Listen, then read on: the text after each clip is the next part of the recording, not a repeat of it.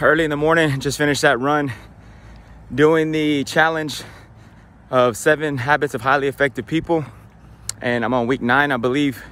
And this week it is to list a challenge, think of a challenge you're going on that's going on in your life right now, right? And step two, list everything that you can control in that situation. So, like my attitude, my effort, if I can work hard, if I can work smart, if I can support my teammates, if I can have fun, if I can model, if I can motivate, if I can mentor, and I can multiply, hopefully.